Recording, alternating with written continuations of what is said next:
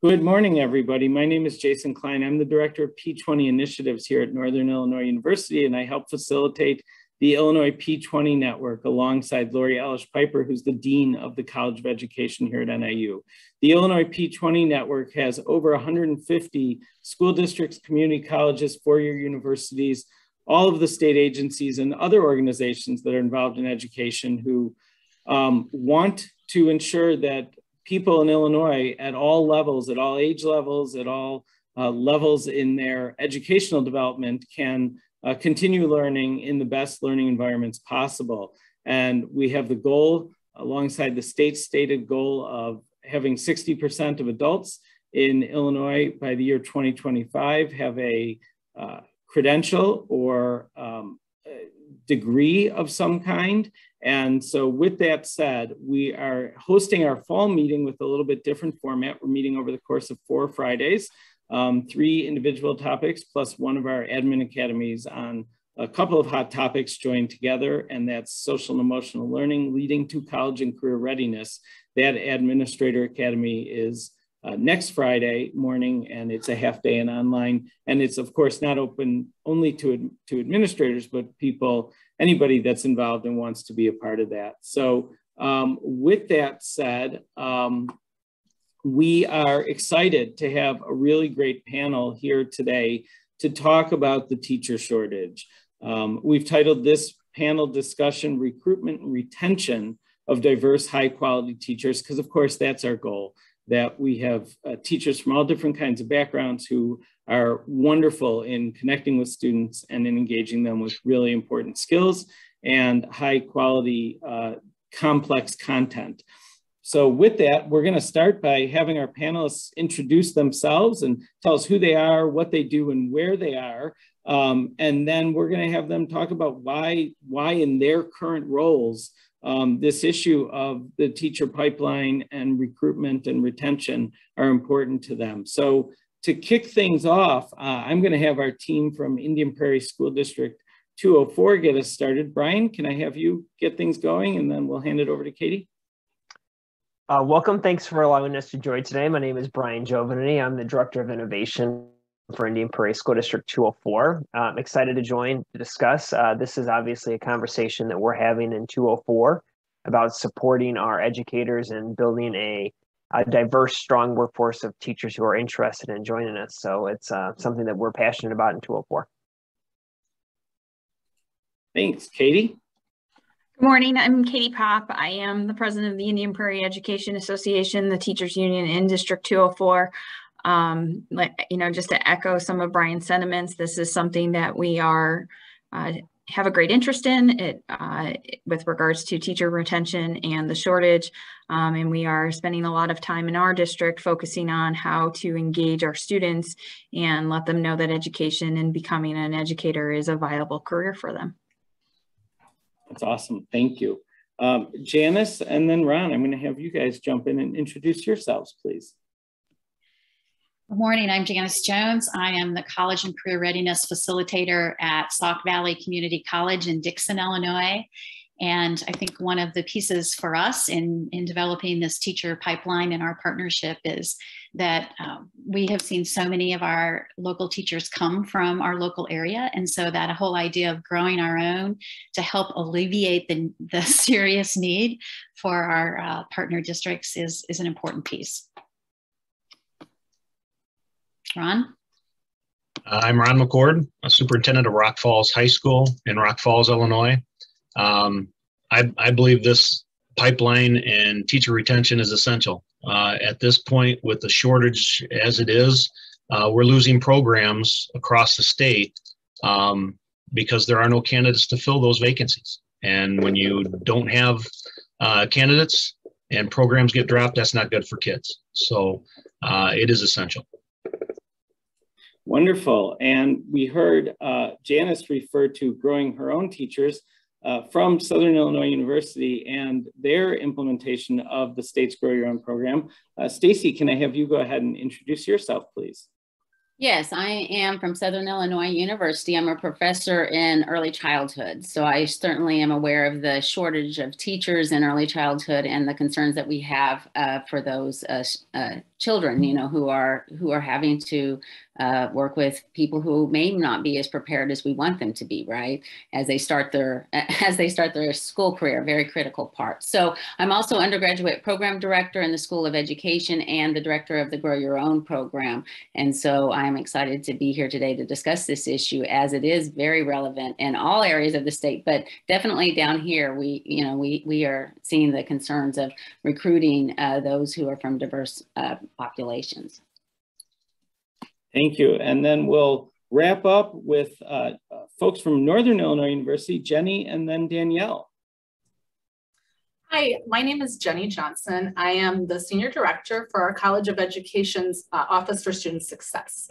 And um, our college is super committed to the idea of confronting this really national but shortage in Illinois. And we have um, come up with some innovative collaborations and um, strategies to help help, um, hopefully help, help make a difference, right? And so I'm excited to have been invited to talk about that today and um, thank you. Danielle? Hello, I am Danielle Erickson. I am a student in the in the Northern Illinois University College of Education. I specifically am not on campus, but I attend a program, the the Pledge program, which is for Elgin Community College students. And basically, I currently am in Elgin, and we take coursework there as well as student teach there, at least at my, at my stage of things. And I think it's important because I see how the lack of people in schools can impact a child's education. Often, you know, they don't have the same resources as though they would if they had the number of people in the past. And I think even in 2017, ISB was pointing out numbers of like lacking folks in this field. So I'm like, I'm hopeful to see it grow because it's such a vital aspect of our country to, to educate our young people and give them a bright future. So. Wonderful. Well, thank you all so much for being here. Um, before we jump into the first question, part of the context I, I want to give is, is something that Ron had mentioned in his opening, which is uh, the need for educators to be able to run a wide range of programs to meet our students' needs and prepare them for their futures. And we know in Illinois, the context is there is a lot of support at the state level among politicians to continue expanding programs. There is a big effort to continue the expansion of early childhood education, but we need to have enough early childhood educators. Uh, last winter, we had legislation passed that will expand requirements for world language experiences for our high school students, as well as computer science experiments experiences. And we know we need to have enough world language teachers and teachers who can teach computer science around the state of Illinois to be able to, uh, to be able to follow through with those new requirements. So given all of that, let's start with why do you think uh, we have a shortage of educators today? And I'll leave this up to whoever wants to jump in first. But again, let's start there. Is why do we have this teacher shortage?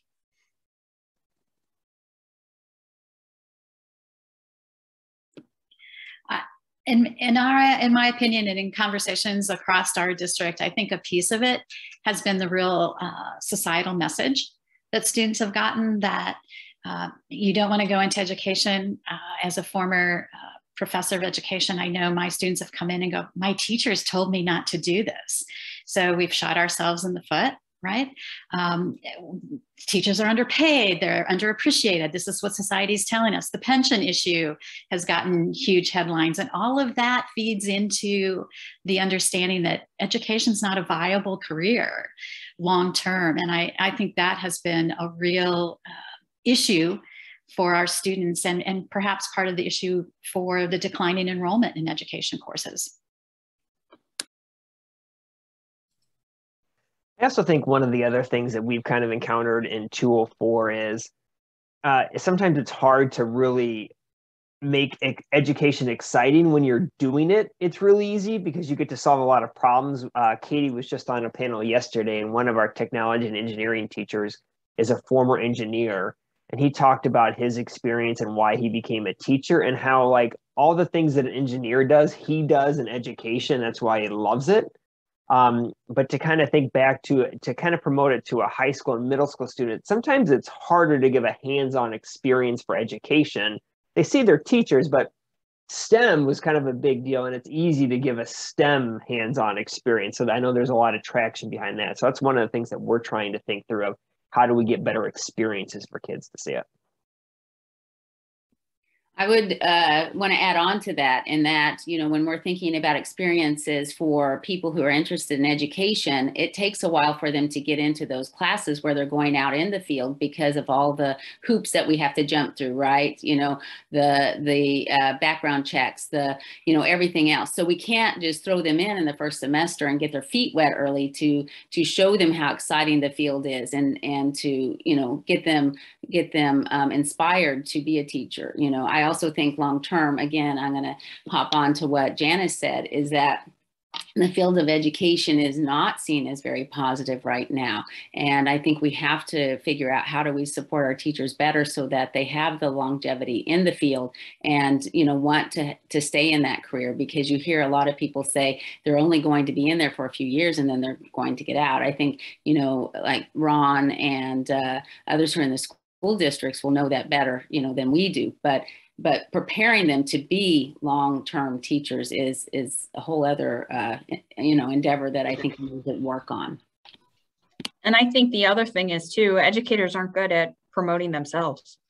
Um, you're the least person to want to, you know, likely to say, hey, this is, you know, these are the cool things I get to do. I mean, you just know that it's natural part of your job and you just do it and you're here because it's something that's innate in you that you wanted to work with kids and you wanted to do this that it doesn't really always dawn on you to say, hey, this is a really cool thing. Maybe this is something you should look into doing.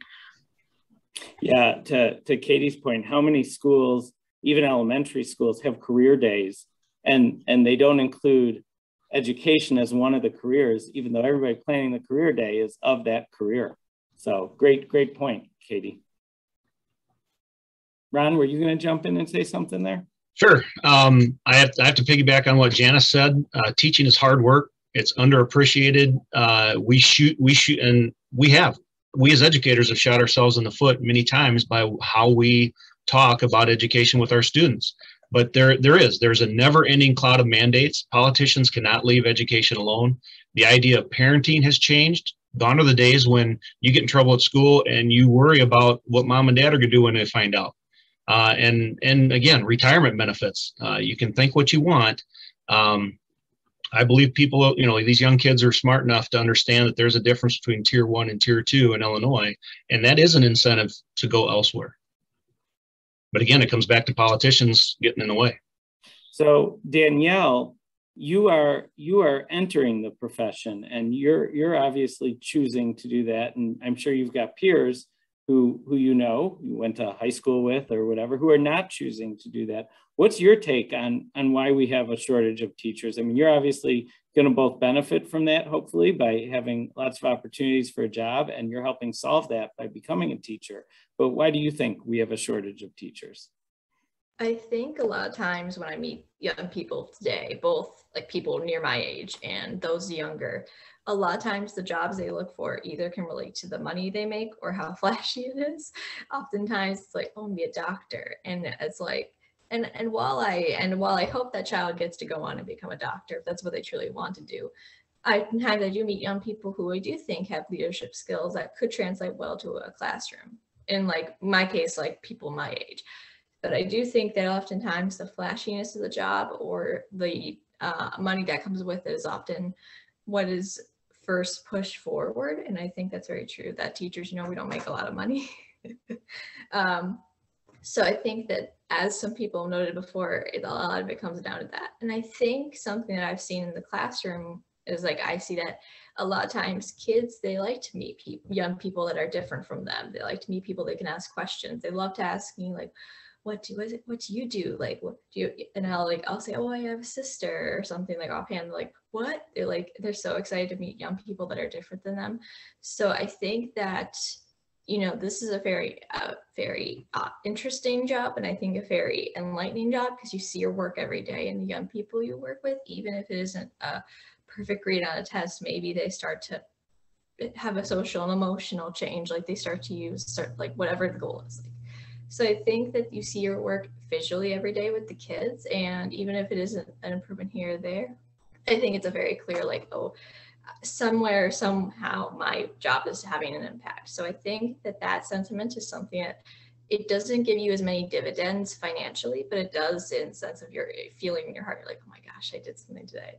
And it, it makes me feel good that i'm like i go home and even if it's a bad day i'm like at least one kid i at least was able to do this for. So it's those small wins that i think are not as easy to to like put out a screen and say, oh yeah, teachers make this much money. It's like, well, they don't, but they do so much good in our society. So I think that that, that dividend is not found easily, even if people in the field can attest to it as I would myself.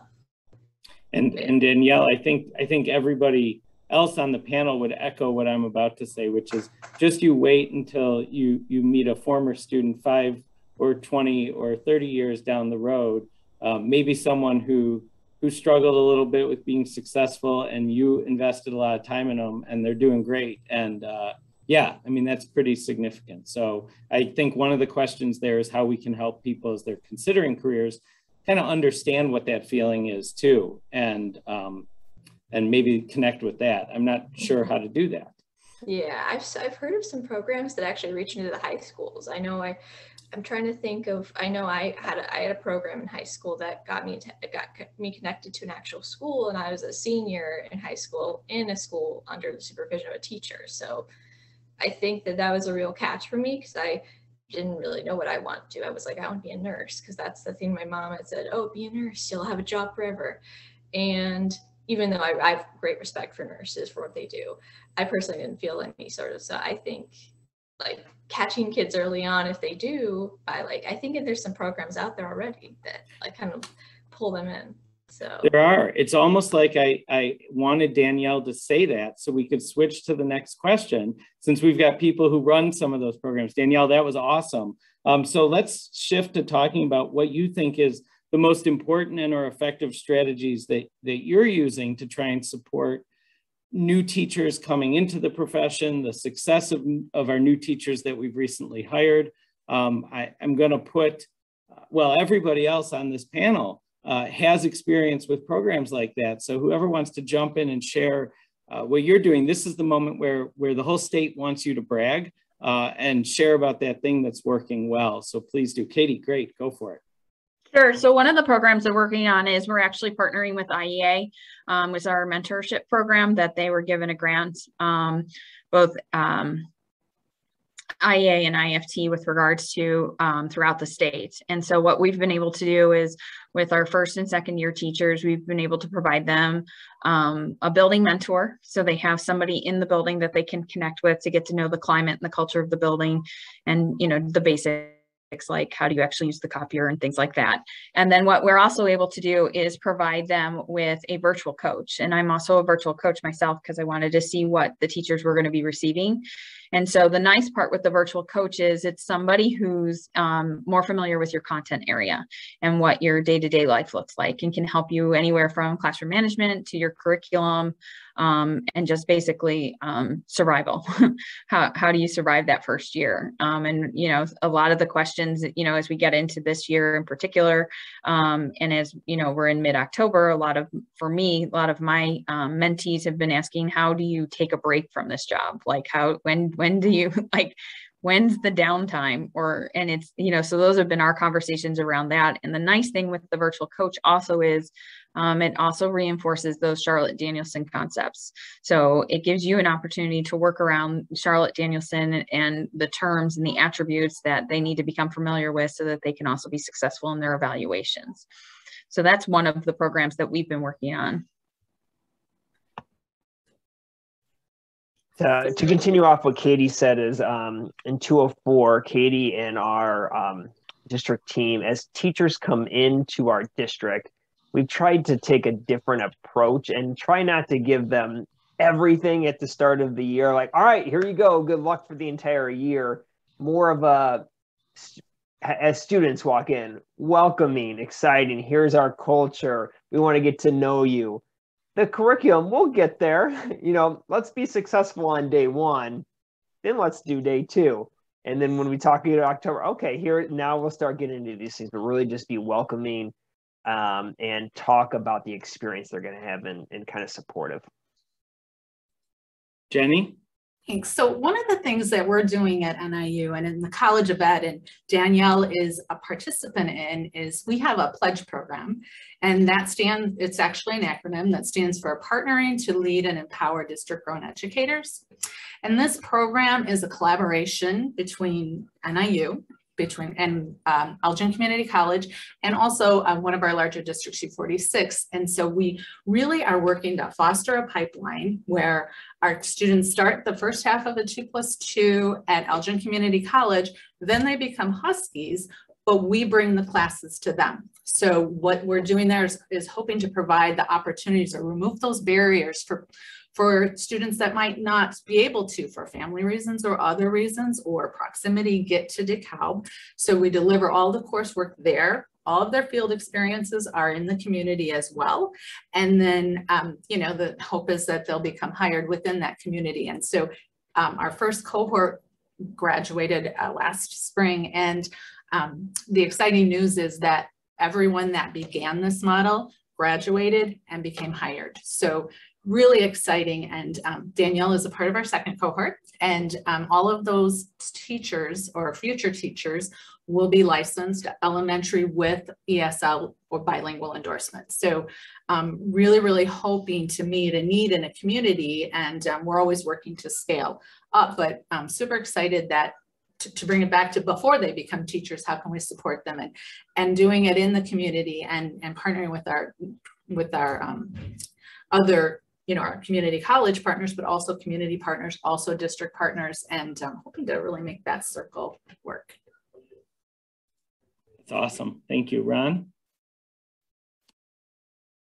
Yeah, I'll reiterate some of the same uh, new teacher orientations, uh, mentor programs, being as welcome and supporting as you possibly can be, um, helping new teachers connect to the community are all good uh, strategies uh, for new teachers and and going back in time because um, so many of you have experience with um, starting with high school students who think they may want to be educators and and I'll, I'll throw in one plug here and that's that we have to remember when we're doing work around the career pathways uh, one way to measure our success is by the number of students that move forward in that pathway. Another way to measure success, and this starts to become difficult to quantify, is with students who've decided that pathway isn't for them, but they've decided that much earlier than after spending four years of time and money, for example, earning a bachelor's degree. So they can, they can go in a different direction. So that is a success, harder to measure. But talk to us, um, any of you that have experiences with beginning to engage high school students in the process, um, what you do there and that's been most effective. I think one of the things that is, is essential in any high school program, number one is identifying the students. Every student thinks they know what education is about because they've been a student. And we know it's totally different on the other side of that desk. And so helping them to identify those skills, you have these skills that would translate into uh, being an educator is key um, and and making that we're really working hard to make that a culture of not just our our school but our districts and our communities so that uh, people will be able to say wow i don't know what you're thinking about doing but you know you'd be a great teacher. And that can really be a, a real guidance for students. I think another piece um, based on how the four-year system or the post-secondary system is set up is helping students identify what grade level they're most interested in. Because the last thing we want to do is have a student um, you know get to student teaching and, as an elementary teacher and go uh-uh this isn't for me. I should be i should be an you know uh, early childhood or i should be middle school. And so giving students those experiences with different age groups I, you know, we constantly see that that conception. Students have a conception of of what it, it's like to be a kindergarten teacher, and after they're there for a few days, and they go, um, "Man, I don't, I don't want to take out boot liners, wet boot liners, and put them back in, and and you know flip gloves, and I, I don't want to do that. That's uh, you know, and and thank goodness somebody does, right? But um, that's not for them so that so they learn those pieces right? So maybe they don't leave the pathway altogether but then their next experience can be uh, with older kids. So i think that is really really helpful to help guide students. So they do that in high school before they commit to a college uh, pathway. Awesome. Stacy rather than talking about high school students can you talk to us about um, the focus of the Grow Your Own program and how that engages. And then Jenny, sorry, I cut you off apparently, uh, the challenges of doing this over Zoom. But Jenny, if you want to jump in right after Stacy, that would be great. Yes, we have uh, several cohorts for Grow Your Own and uh, Grow Your Own teachers, and uh, we are very excited. We have 17 in our uh, first cohort of SPED paraprofessionals who are getting ready to graduate this fall. So, I mean, wonderful. So we started out with 20, right? So, you know, you do have some attrition, and uh, uh, but but I feel like we've had a good support system, and having cohorts I think really helps them. Now, the other thing that we're we've worked hard on, and and it is part of Grow Your Own, is making sure that they get professional development as part of the program while they're in the schools. And I do think that helps them because they're running into those issues as they're in their current classrooms, and then they're getting the education right there to address it. And the other thing is, is that we're working on it with our newer cohorts in getting mentors coming in, especially for those who are from minority backgrounds, because I think that they're going to encounter different issues uh, than the than you know your your regular what we've traditionally seen in our programs. And we want to we I think you know the more successful we are in supporting them, they're going to get the word out, and and others are going to say, hey, I can do this, and so that's what we're really excited about. But the you know I think the big thing in making making them successful is that they are currently in their classrooms. And they're actually in our new early childhood uh, cohort. We have one person who is in a high school. She's in early childhood. That's where she wants to go. But see, there's a pre-K in, in that high school. So, so that's helping her get the experiences that she needs. And she's seeing that as, you know, that's a benefit because I think that they'll start to move her into that room too. You know, so I think that as many ways that we can think, uh, as many creative ways that we can think outside of the box to support the students, I think they're going to be more successful successful and we're constantly checking in with them you know what are the issues? What do you need help in? And i love it because they're more vocal than our traditional students also. Hey, like i have an email from last night. Hey we need some more uh, information from our supervisor you know we want more you know and i love hearing that you know and, and that also i'm going to push that down into our teacher ed program for the traditional uh, students and see you know how can we help them? Because this is what these students are asking for and maybe our traditional students do not know what to ask for and and anyway so i think that this interaction and and the collegiality between programs and among students is going to make it a better uh, make it better in the future for what we offer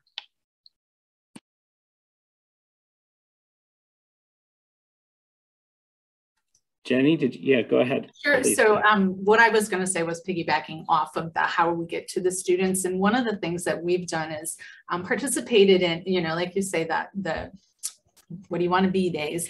And um, present in like a mythbuster fashion because you know so then we're in front of students who maybe never thought about being a teacher and say well did you know this? Did you you know and um, kind of maybe put planting that seed. And we've gone all the way you know we've been in middle schools. We've we've invited groups of um, middle school students. As a matter of fact um, next wednesday i have a group coming to campus to you know see what it's like. And we do team building activities and and make it you know, showing them the other side of what they're experiencing, like you said, as students. So seeing what it is like to maybe be a teacher. And, and when you bring the whole group, you never know which ones are gonna are gonna catch, right? And so that's just an approach that we're trying to get that the idea of this is the best profession in the whole world and here's why and let me tell you in eighth grade think about it. Or um, Another thing that, you know, we, what we do is we, we provide many of our alum with um, alumni packets to put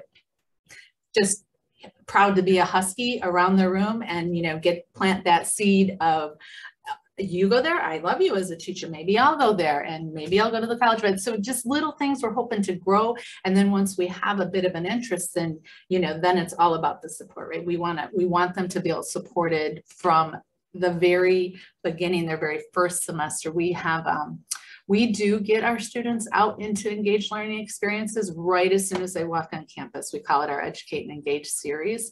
And so while it's not a true clinical experience, they are in a classroom and they are engaging with students at multiple levels, sometimes just a day, sometimes it's a week. Um, so really trying to, once we have them thinking about becoming a teacher, learning to love it and seeing it in multiple spaces and contexts and um, have, have them feel like they're supported in this journey. So Danielle, I'm going to put you back on the spot. I'm sorry to do that, but as you're as you're in this process, um, I want I guess I want you to think again about people that that you went to school with prior to graduating from high school.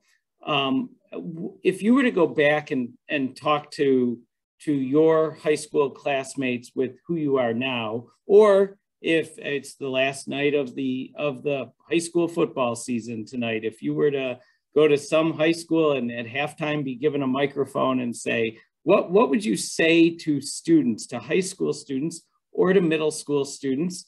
Uh, which is is really critical. There's a whole body of research from almost 30 years ago about making kind of career pathway choices as early as sixth grade um, not that kids should know what they're going to do. I mean, the jobs that exist when they're in sixth grade will be different than the jobs that will exist 10 years later. Um, but but what are their interests and thinking about the skills they need. So Danielle, what would you what would you say are the the reasons that high school students, uh, community college students, other um, undergraduates at a university setting would want to hear about to consider teaching as a profession to help address the shortage that, that maybe all of us that have been doing this a long time aren't saying uh, to them?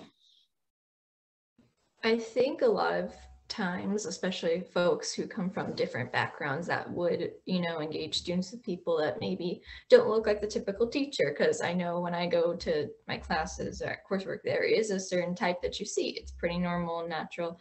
But I think to engage those who maybe don't look like the typical teacher, whether it's a male teacher, a teacher of color, whatever that category might be, I think a lot of times it's being that thing that you needed when you were that age, which is kind of hard to describe in a sense, because it's kind of, I think a lot of times young people, you know, they were taught up by teachers who didn't look like them. And sometimes they were like, oh, I don't, I don't, why did I care to, to listen to you? But if they had a teacher who maybe it's a boy who he feels like his teacher doesn't get him, but if he had a male teacher who could be in that room with him or some sort of professional who maybe is like a, a para or fill in the blank or some sort of professional in the field. So I think finding that sense of like, you can look like somebody's like they need that somebody's like aid, helper, guide, whether it's the teacher or some sort of support staff. So I think representing that to a child is obviously, and I've been in the field for a while, so I mean, I got my own my own bias. I, I, I like it a lot, but I think representing like the thing uh, the uh, the role model a child needs is important, especially in the day and age where a lot of young people have very negative, you know, stereotypes to lean into where they sometimes feel like, oh, I can't be smart because it goes against the social pressures I feel at like my in my community. So sometimes like I have students who they are really good at a subject, but sometimes I get the feeling they feel like, oh well, I but eh, but I'm not going to end up doing anything big with school anyway. So I think if they had a role model who's like, yeah, well, I went to school and I was in the community like you, like it gives them a sense of like oh school's cool and staying in it is really even like more worth it so i think the long-term benefit of having those faces in the room that look like our students is really monumental so i think that representation of a role model is really important that's a great answer, Danielle. And Danielle has, has also just said she wouldn't go out into the middle of the halftime field by herself. She'd bring a whole bunch of different people that look like all of our students. And Danielle, that is that is a wise, wise answer that we should all hear. Ron, I'm going to shift to you and I'm going to rephrase one of the original questions we had here, um, which was what is the biggest challenge for teacher candidates to overcome to become successful full-time teachers? But as, as an administrator in a school district, and then Katie and Brian, I, I really want to hear from you guys on this one next. Um, but what is what is the the things that that are in place that help our new teachers or our student teachers uh, be most successful as quickly as possible uh, in your experience? Well, the first the first year is always the toughest. Um, outside the student teaching experience, there's not a whole lot that can really prepare you for taking over a classroom. Uh, however, when the focus is what's in in your classroom is on what's best for kids, you know, challenges don't go away, but we're certainly moving in the right direction. Um, I find that when students take priority in the classroom, building relationships is much easier, and students generally want to be there. And when when your students want to be in your class, generally they will be more successful, which makes you in turn a more successful teacher. So it's about relationships. It's about more than just content. It's it's not about us. It's about the kids. Awesome. Thanks, Katie. Brian. I would say I, I think we see from our first year teachers when some of them are coming in, um, a lot of them have a good understanding of uh, developing student-centered lessons and what that means and what that looks like. Um, so they come in with that knowledge. And I think they also come in with a better understanding of the need to diversify some of their lessons um, to be make sure that they are engaging all students, um, minority students included, because they've had more, I think, some more training in that area than some of our more veteran teachers, because that wasn't something that was as ingrained in the programs. So I would say those are the two biggest things that I notice. I'd echo everything that Katie and Ron just said. And, I think, and I'm thinking back to a conversation that we just had with a, a new teacher who was feeling a little overwhelmed um, to really pinpoint the importance of focusing on relationships with kids. If you know your kids, you're then able to identify books that they want to read. You're able to support their writing. You're able to support their math. You know, that relationship is so important to that student dynamic or that, that culture in the classroom and at the same time helping them identify what's kind of the the extra and like all right here's the core and kind of focus on this and then all right as as you get experience you'll kind of build into the other things. But relationships and here's kind of the things to kind of focus to get you going and then you can build up to the other things throughout your experience so I want to jump in and, and make a comment first, and then I'm going to ask a follow-up question of the group. And the, the comment I want to make is Katie's comment, I think, was, was really helpful, I hope, for our post-secondary folks to hear, because um, that's maybe a sign of, of the work being done at the community college and the university level heading in the right direction.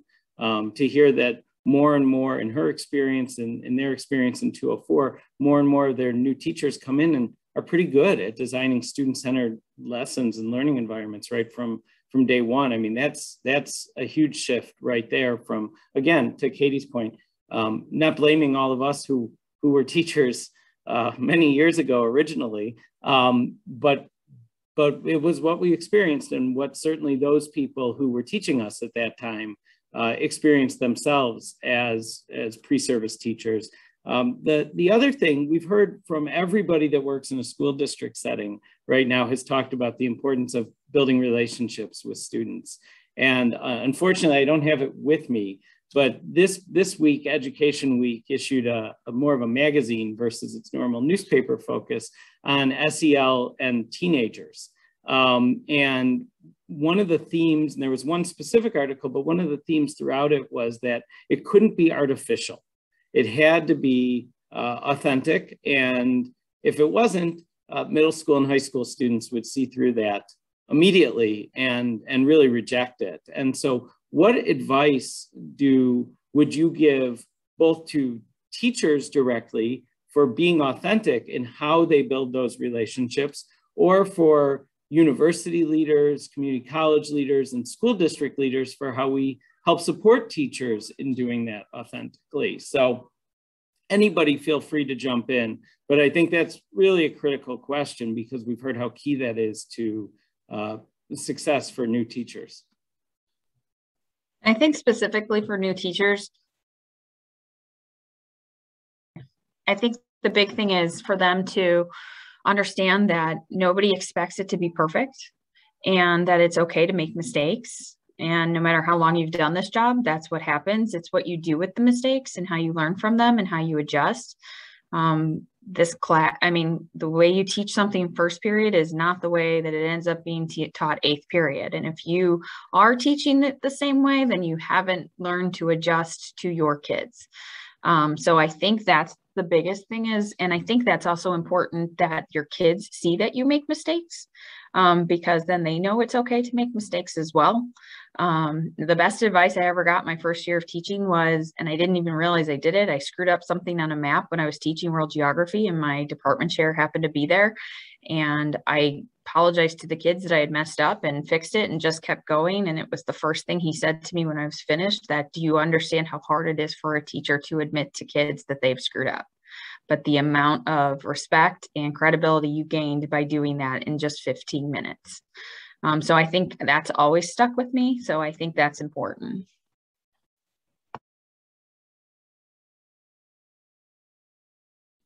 That's great. Other thoughts on how to support teachers with building those authentic relationships? Katie, that's a really specific one. And yes, we will make mistakes throughout our career every day, every year, because we're working with with other human beings. I think, I think modeling that, it um, as much as we can uh, and making that a priority, I think that's a that's a key component to it.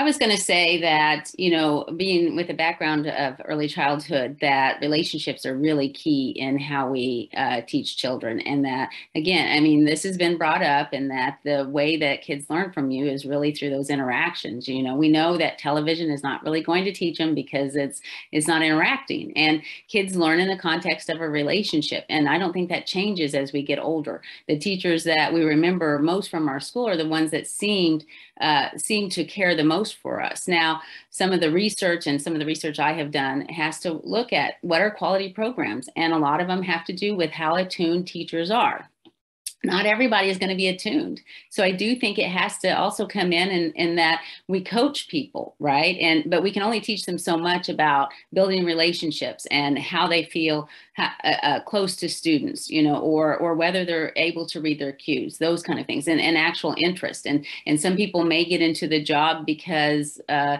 maybe because they think it's easy, you know, and then they realize how challenging it is, that it's not as easy as what they thought. But I do think a, a key part of, of what we observe in students, and we, we have a disposition system and it's not to say hey you're not going to make it but I think it's really important that we say, hey, we're seeing some struggles here. What's going on? And how can we support you? So that's what it really is for. Maybe we need to name it something else, you know. But but the key part is making sure that we're spotting issues early on and that we're coming in and we're we're supporting them because some of the things that Katie and Brian are talking about and Ron and is that that is not going to get better if we don't step in and and if we're not monitoring that. And and the teachers that we're putting out there is really, really important that they are successful, right? Because they're going to speak to the field, they're going to spread the word. And so, if we can help people along the way, I think that's going to go a long way in making sure that they can be successful.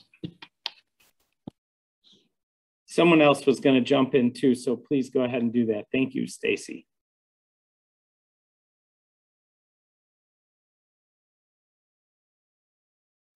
If not, I will jump in and say this that I've thought of a few times. I will never forget the. Um, I had a, I had the same teacher for three or four years of social science, and uh, I will never forget one day after class chatting. I, my must have been early in my senior year of high school, and there was no way, even when I graduated high school, that I was going to become a teacher. But clearly, what he said uh, embedded itself there and, and Mr. Youngblood said, you know, this is really a great job.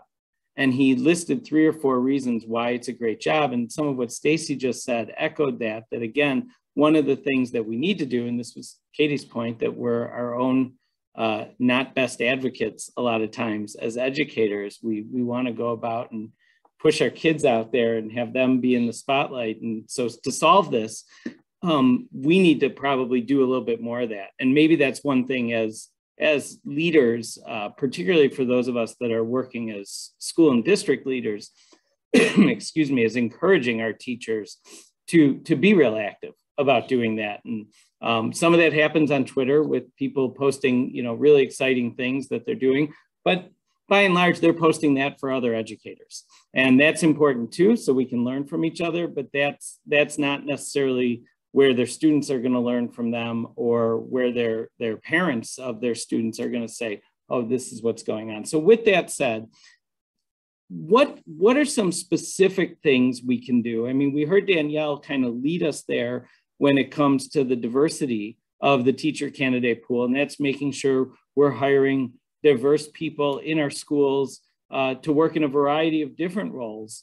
Uh, and, and probably along with that, I would add helping everybody in our school buildings, especially at the building level, think of themselves as an educator, even if they're if they're not in a teaching role, um, and how they contribute to that. So that a student who has those interactions with a parapro, a secretary, a custodian, a nurse can can think of it broadly as as an educational role and and see themselves in that light. And then we also know we have these needs I mentioned earlier in specific areas, um, bilingual teachers, special education teachers, uh, particularly for low incidence uh, kinds of needs. Um, all the supported special education staff like school psychologists, social workers, OTs, PTs, um, and then again, you layer bilingualism on top of, of any of those areas as being critical, CTE. What are the, the things that you either have thought of, you're doing in your various programs, or that you want to do um, that you think can help us address those more specific candidate needs with regards to area, role as an educator, or the diversity of our, of our background?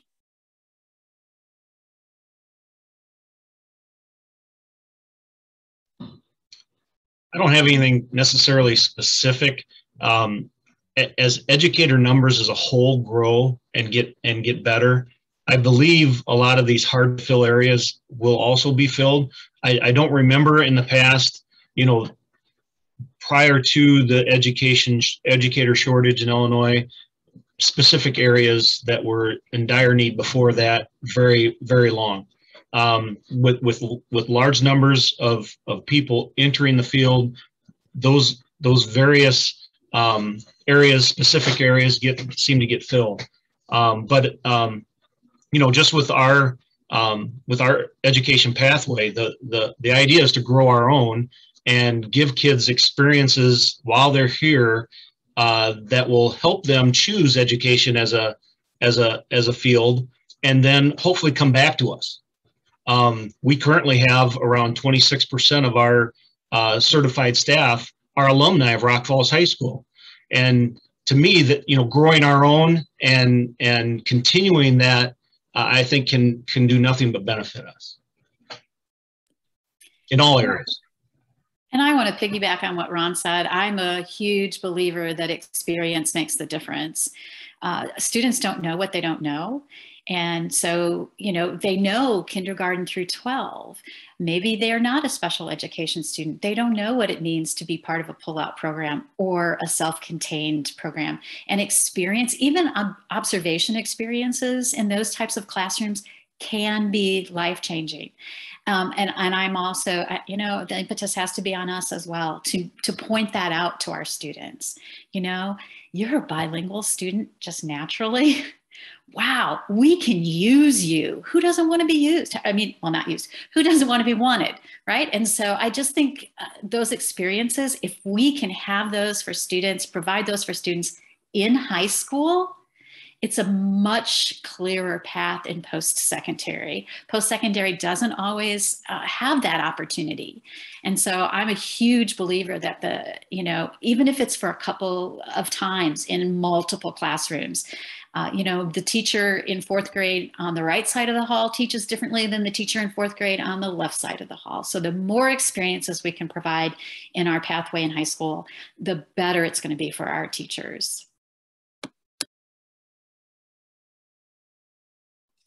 Yeah, and I think I'm gonna, as I was listening to to Janis talk about again how we have to get students outside of our own experiences, I was thinking about part of what Danielle said about how young people are thinking about things about careers that seem flashy or exciting or how much money they're going to make. And I'll never forget that in that conversation I referenced, Mr. Youngblood said in that conversation, and his wife was a was a teacher also, a middle school world languages teacher. He said, "We're not rich, but we're very comfortable." He said, "I take vacations. I have time to do that. I get a coach. My job during the day is fun, and then that's extra fun." I mean, so he really he really sold that. And again, I walked out of there shaking my head and laughing at him, and you know two years later, um, was telling my parents, oh, by the way, I'm going to change my major. And I think one important thing to add, I will never forget that conversation either. Um, they were both teachers and they said, no, you, why would you want to do that? Um, and so that's someone said that earlier on this call that we are in this in this panel, we do that and and we have to stop doing that. Um, and that alone won't solve our teacher shortage overnight, but it will, it will help get us there. Um, other, other ideas about solving these specific needs in particular areas or related to the diversity of all of us as educators across the state so we look uh, more like our, our students are. Um, I am sorry. Go ahead, Katie, or go ahead.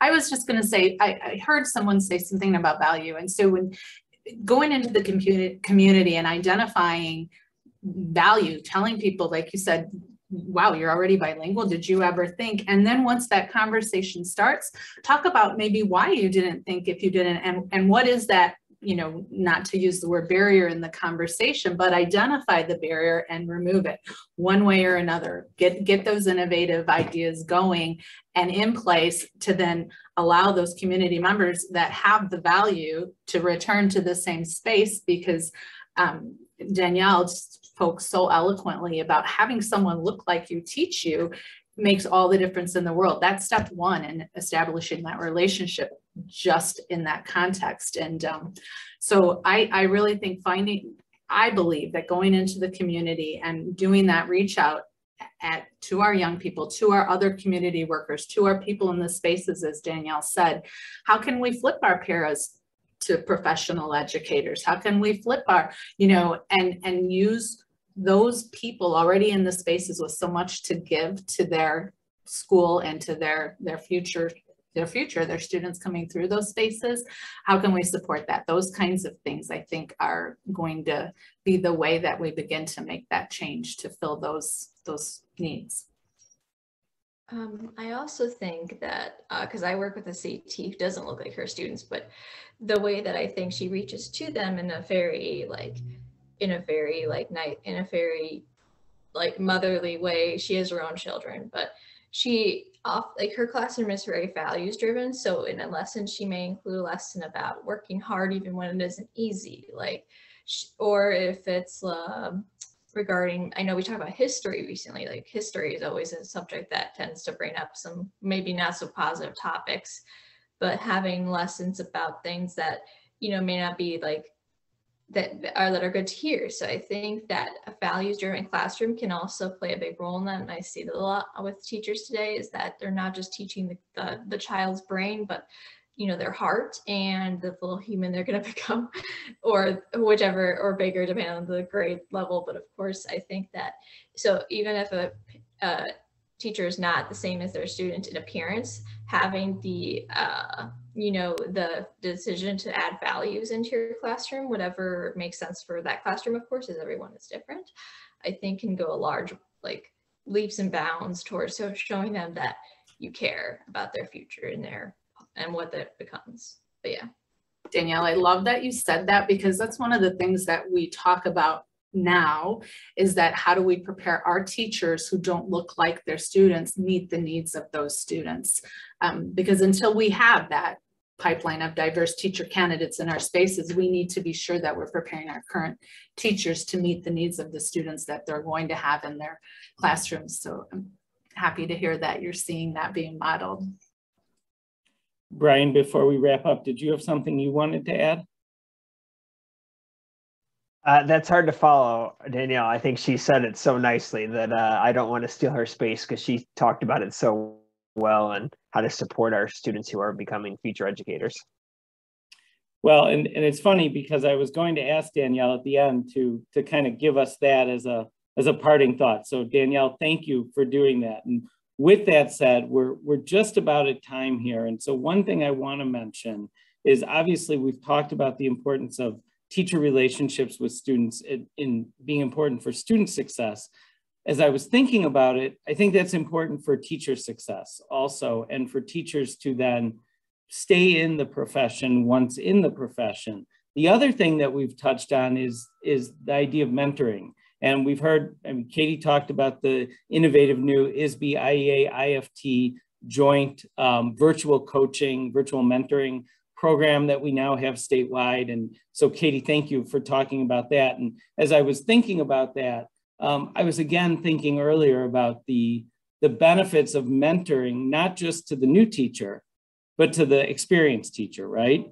And it keeps us fresh and it requires us to think in new ways. And I want to believe that by being a mentor, that's going to be more likely to keep our experienced teachers not only in the profession, but engaged in growing in the profession. And one of our participants sent a, a message to the chat directly to me. And I, I, think this is relevant to that mentoring conversation, and probably again, a good thing for us to remind all of our experienced teachers uh, or anybody working with a student teacher or a student who's observing in a classroom.